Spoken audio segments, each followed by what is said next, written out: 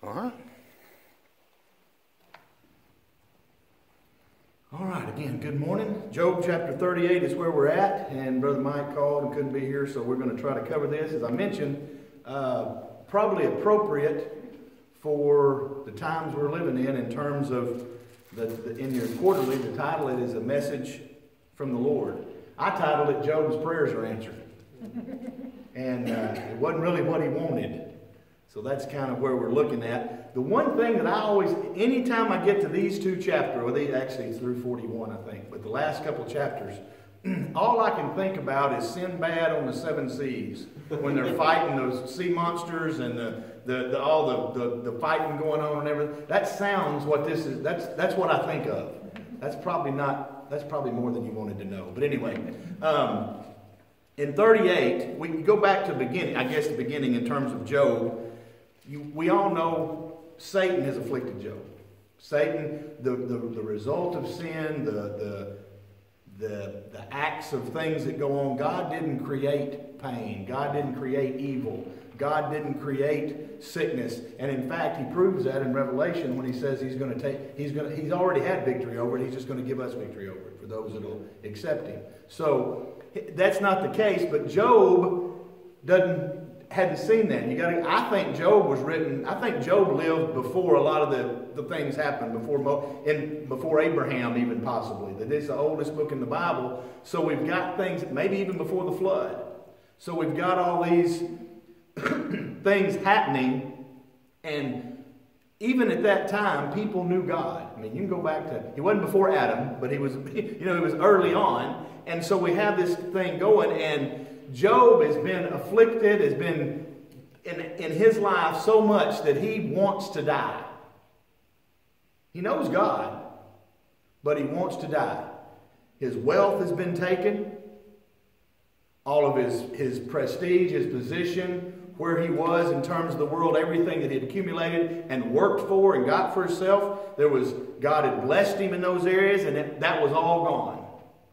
His family, gone. Uh, even his health, where he was in pain and literally wanted to die. I don't. I, this this stuff going around there. Some folks get it. It's not a big deal. Some get it, and and I, you know it's one of those things. You're scared you're going to die, then you're scared you're not, kind of thing. You know that that's he he would. I can't fathom that. But even in knowing God, he he knew God didn't cause it, he had confidence in God. We can see that even when his wife and his support group is, is turning on him. He had confidence in God. He didn't curse God, but he sure complained to him a little bit. And I think we could probably all relate to that. I've been doing it all weekend. I don't just, just with everything going on, and, and I focus too much on, on the world instead of on the Lord and on uh, the world instead of the Word. And so I end up, I get I get all tensed up and I think, what, what's going to happen? What are we going to do now? How am I going to handle this? And, and I know God's out there. And I, I, I'm not, I can't imagine what Job was feeling. But he certainly did ask some questions. And I've said before in talking about Job, there's nothing wrong with asking God.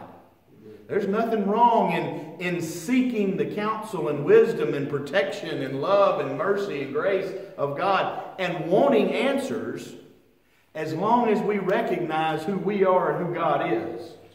And I think maybe that was, at least from my understanding of these few chapters, that was where Job was lacking.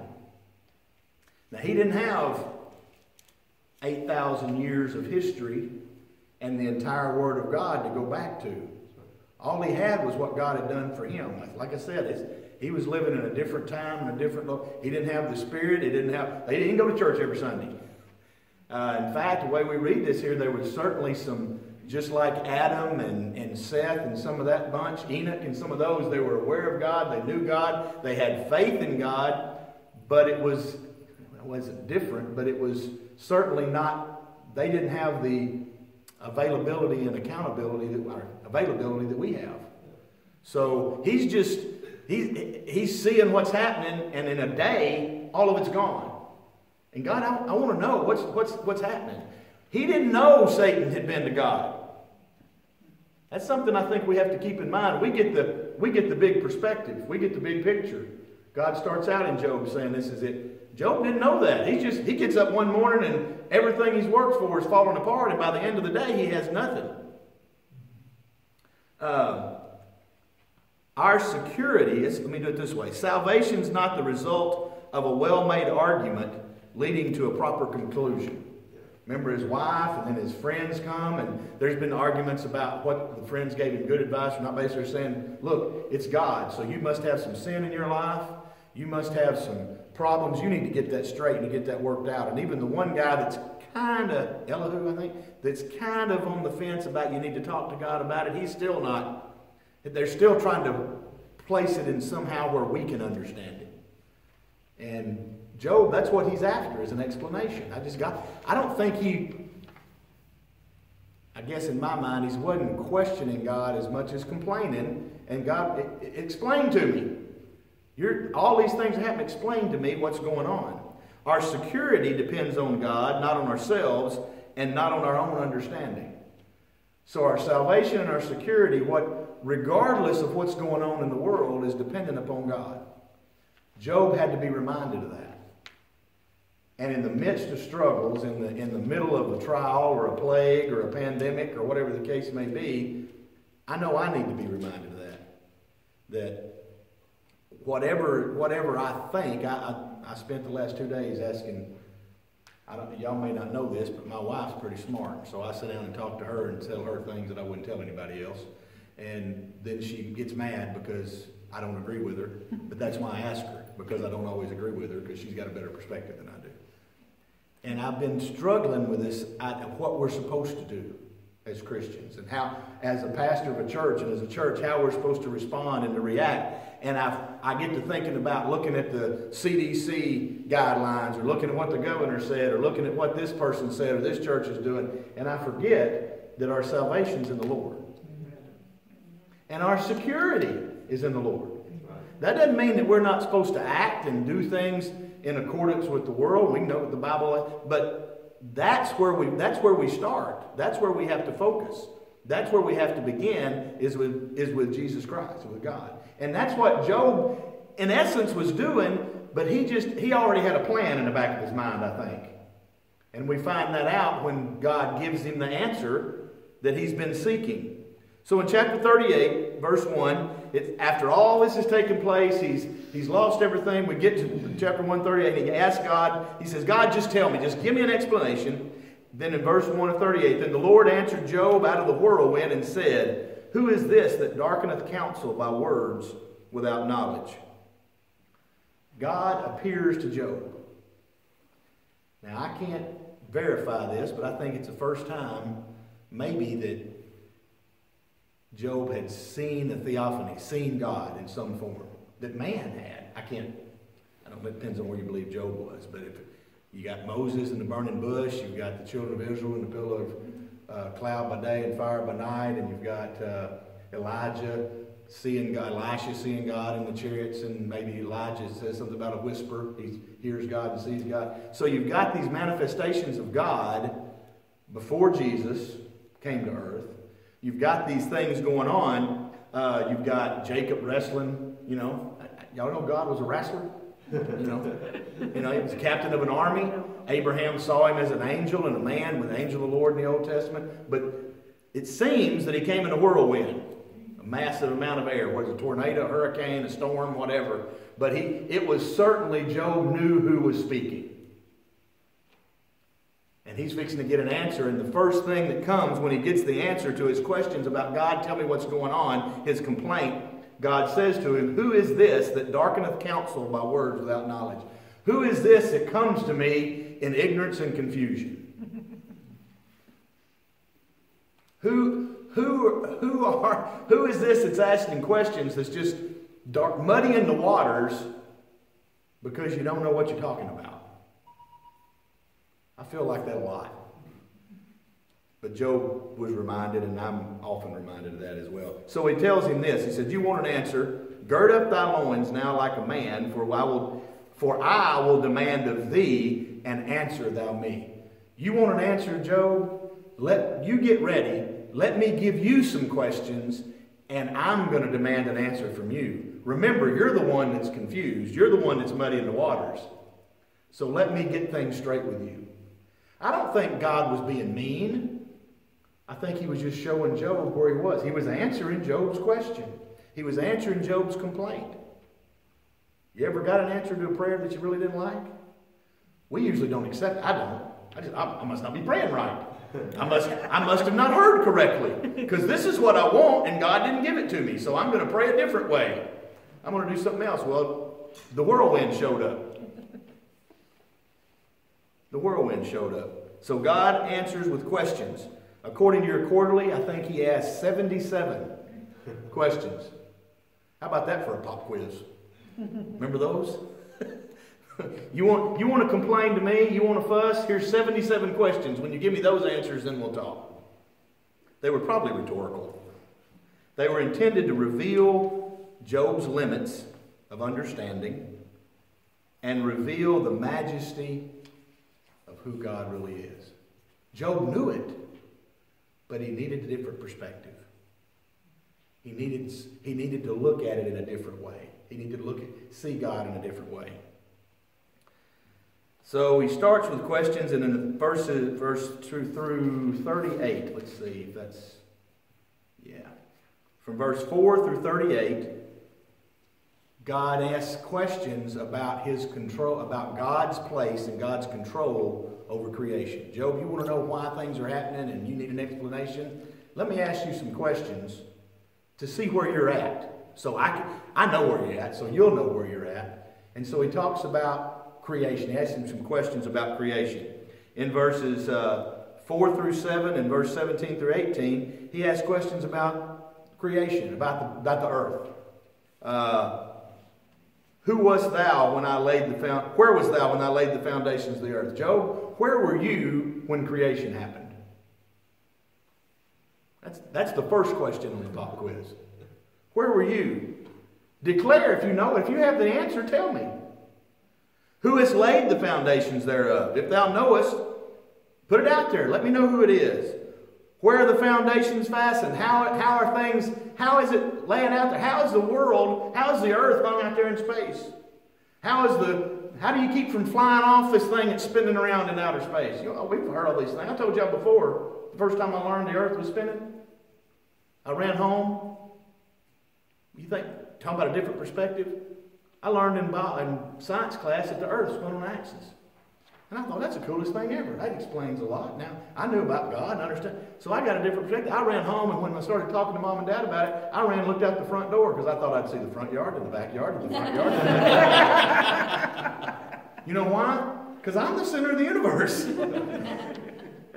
I didn't know it at the time, but that's, that's the way, that's really the way we are. Well, that's where Job was, and, and God gives him a different perspective. You weren't there when this happened. How does this all work?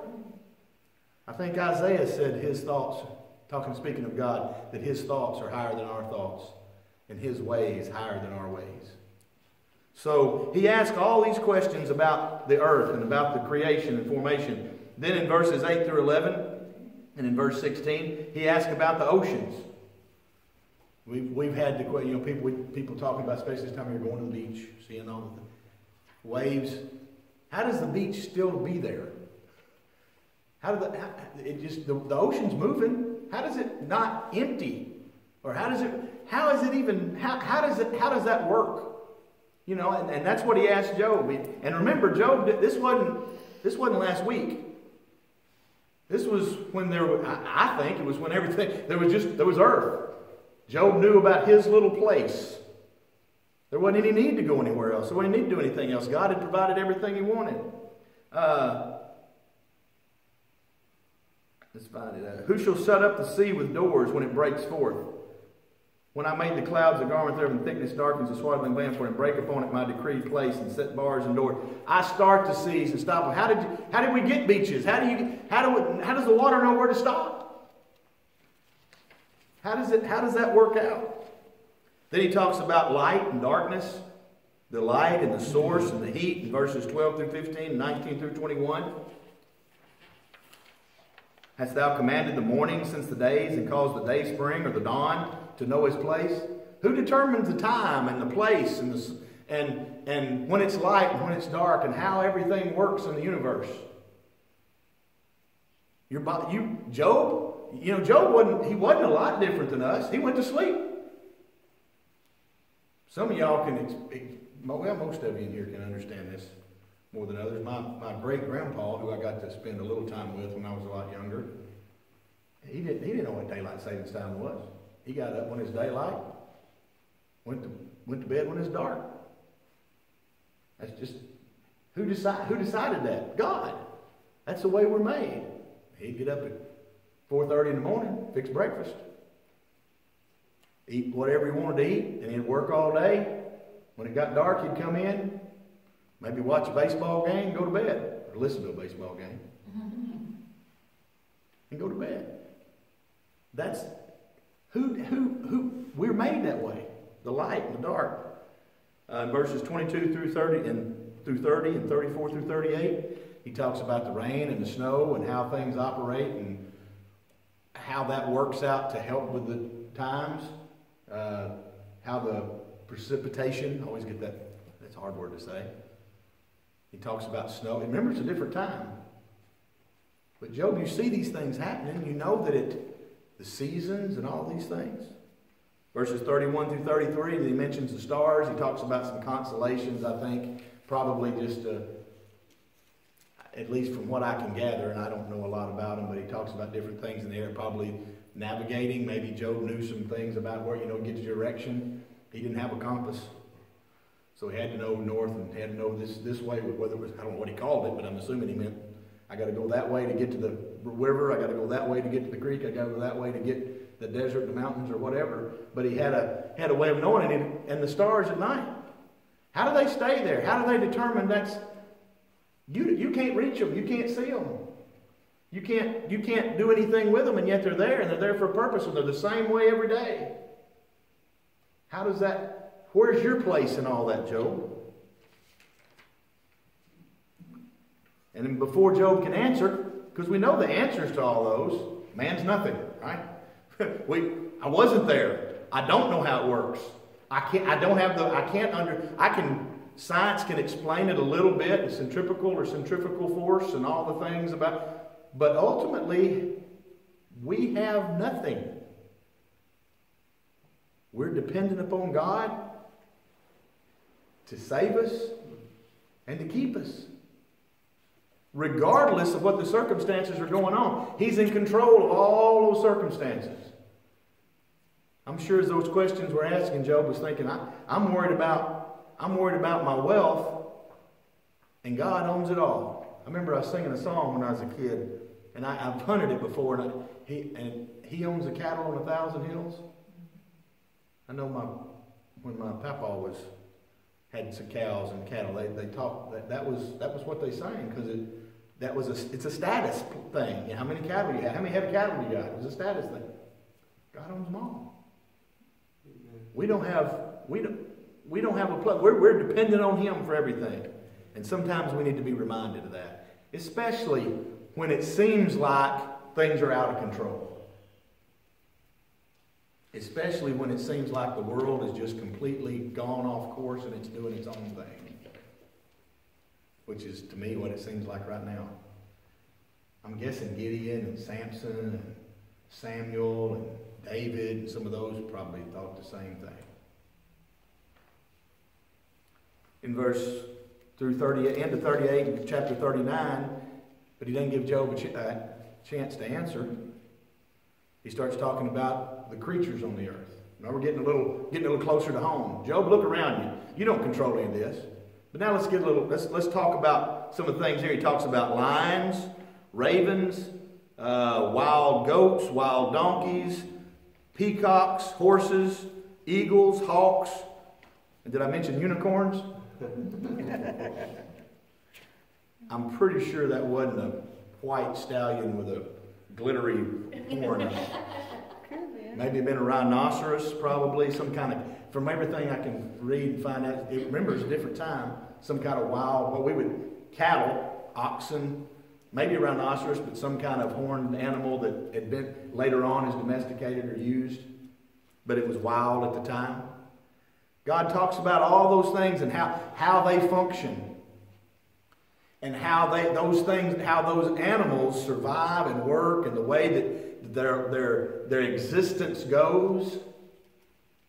And it doesn't make sense. Job, you can't explain how this uh, the peacock, which it's the way it sounds like that, that, or some people say it was an ostrich, that you look at the science and the biology, or biology, is that the right word? The science of, of, of, a, of an ostrich, there should not be any ostriches.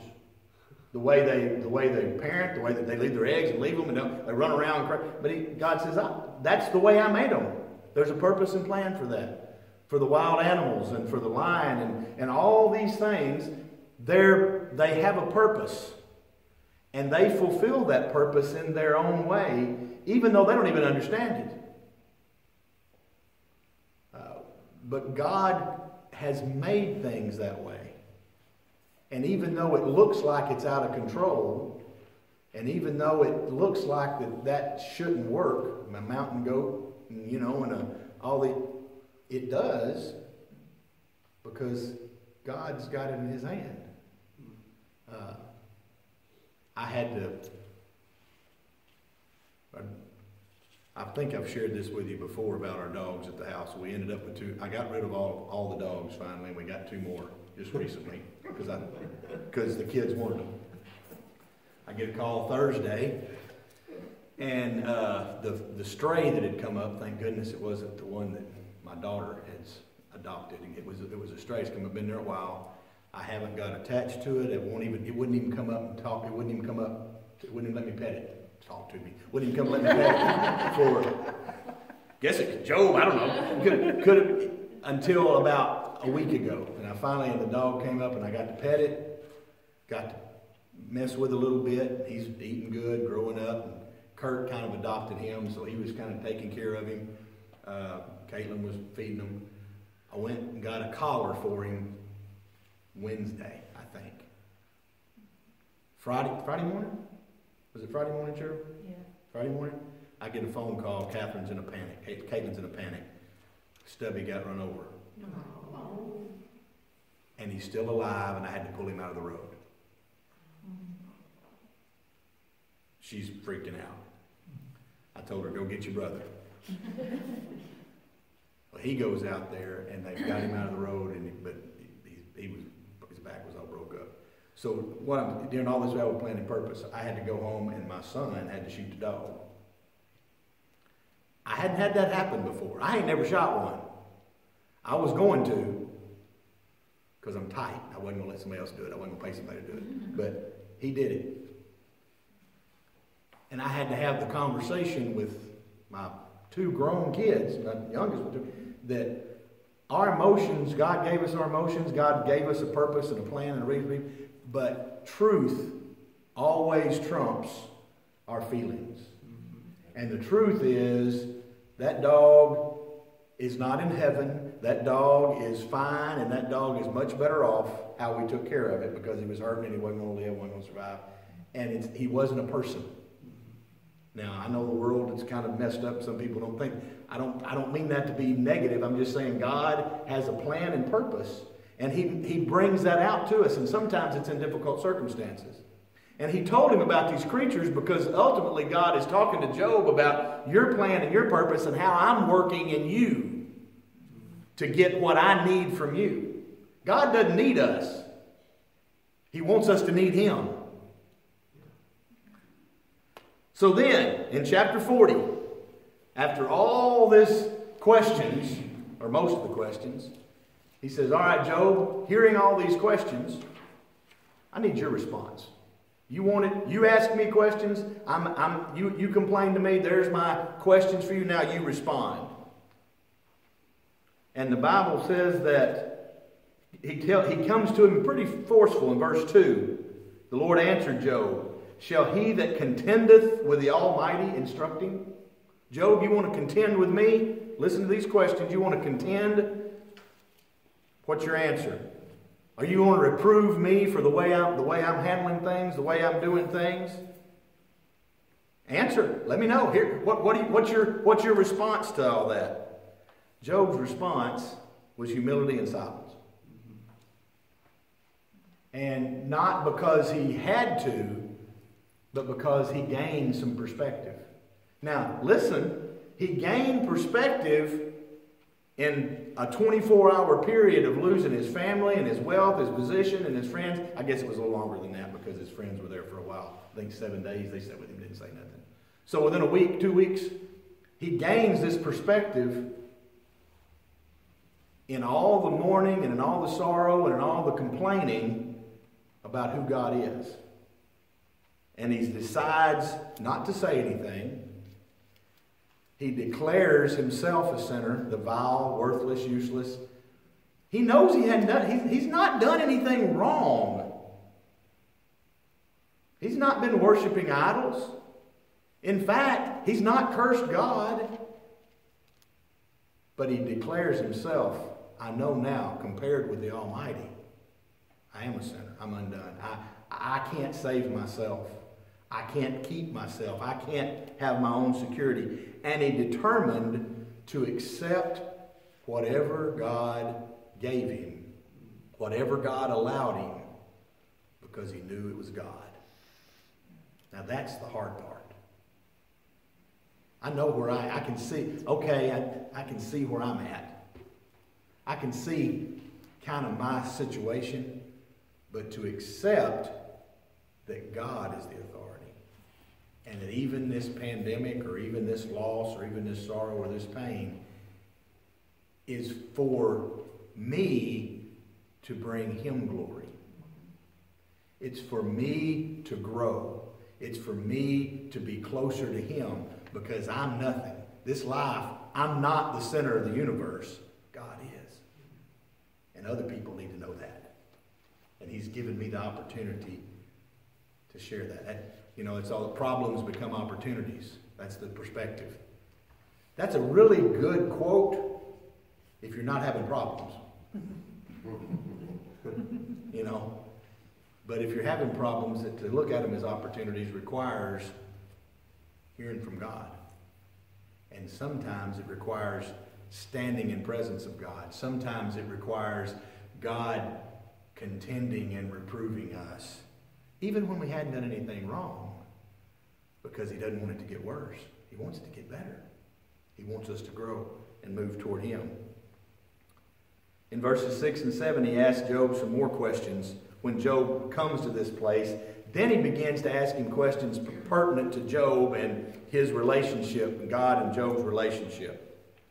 And he starts the same way as before verse 6 and 7. He says, Then answered the Lord, Job says, Once I have spoken, but I will not answer, yea, twice, but I will proceed no further. Job, I'm, I'm, I'm, i realize that now. And then God answers from the whirlwind again says, Gird up your loins, I will demand of thee, and declare to Job, now you're to the point you can get the lesson. This was just, this wasn't, all that wasn't the answer to your prayer. All that was getting you ready to receive the answer. Now, here's the answer to your prayer. And he starts asking him again. And this is where he starts talking about all the weird stuff. He talks about behemoths and leviathans. and I'm just going to, his challenge is to Job. Job knew what these things were. I don't know, and, and you can spiritualize it, you can do all kinds of stuff with it, but bottom line is, there was some, whether it was whether the, the behemoth was an elephant or a hippopotamus or a dinosaur, doesn't really matter. Whatever you want to believe about it, I don't, it doesn't make any difference. Job knew what it was. And whether the Leviathan is a sea serpent, the Loch Ness monster, or a dinosaur, or a crocodile, or some symbol of the dragon Satan himself, certainly that application could go to us. I don't know what interpretation you want to place on that, but again, it doesn't matter as long as we're answering as God gives us the question and recognizing God is comparing man to God's creation to the Creator. In both cases, Leviathan and Behemoth, he's saying, look, he, gives a description of how strong and fierce and, and, and and powerful and what they're capable of. And it kind of is like the majesty of God, something that we, it's, it's a picture. I think he gives Job the picture. He says, Job, you can't understand. You're listening to me out of a whirlwind. But look at this animal and see how it operates. I made it, but see how it is compared to mankind. You can't tame it, you can't domesticate it, you can't control it, you can't make it a pet, you can't do any of these things. You're compared to God, that's, that's what you're trying to do in your complaint. Just let it be what God wants it to be. With the Leviathan, it's more of a conflict. He's comparing and says, look, this, this, this thing is fierce and powerful. It's got uh, uh, all these, all I hadn't even, I, you can go back and read through it. it. talks about its description and how sharp the teeth are, the damage that it can do. Man, how, you gonna, you gonna catch it? You're going to put a hook in its mouth and pull it out of the water and do something with it? It's more powerful than that. You need me to overcome that. I made it. That, that greatness, and, he, and that's and he tells it because he comes to the conclusion, and then when he comes to the end of chapter 41, I think,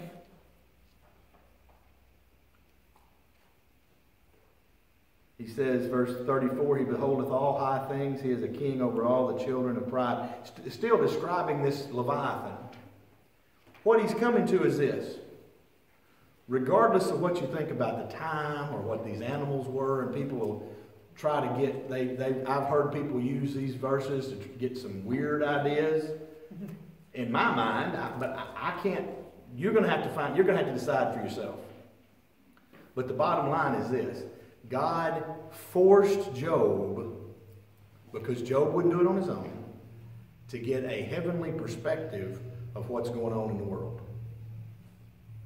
He made him come closer to God. He came to Job and drew Job in to see the big picture. And once Job recognized it, and, and all the things that happened in his sorrow and grief and pain and loss and all the terrible things that was going on, when he got enough, when, when God had come to the 70th of the 77 questions, and he said, okay, what's your response? Job's response was repentance. He changed. He didn't have the attitude he had before. He didn't have the questions he had before. He didn't have the complaints he had before. He still had the problems. Maybe it was just because he knew God was there. And here's the kicker God never told Job why it was happening. He didn't give him the explanation. He could have said, Job, look, you're a pretty good fellow. I knew I could count on you. You've been, you, you stayed with me. And Satan come over here, and he, he's trying to make an example for the world. He think, so I'm trying to teach him something. I, I, need, I need an example to show to Mount Zion Missionary Baptist Church in the 21st century. So you're it. I, I know it's tough, but I'm promising you I'm going to take care of things. He could have done that. I would like to think if God told me that, I would be able to handle the plague better. Probably not, but I, you know, at least I've got an explanation. But the very one of the first verses in your quarterlies, or first line of your course, is this: He never gave Job that explanation, because Job didn't need an explanation. He needed to accept God's will and accept who God was. An explanation wasn't going to change that. Now, I think next week we're going to find out God's response to Job's response, which kind of ends the story, which is a little better. He still didn't get an explanation. So the question becomes have we ever complained to God? Have you ever just had something thought, God, I need to know more about this? I have. And then when God responded, it wasn't always like I wanted. But hopefully, we grow from those things because we accept what God is doing, knowing who He is and when we get to that point, we can't help but just bow before Him and worship Him and be thankful for what we do have. To understand that we have Him because He allowed, it's His grace. It, it, it ought to change us. Even as His children, it ought to change us every day to recognize that He's in charge and He's in control. All right. I didn't have as many good Mike stories, but that'll. Questions? All right. I'm going to run over there and change hats. Thank y'all. Stop. Please. One on the bottom.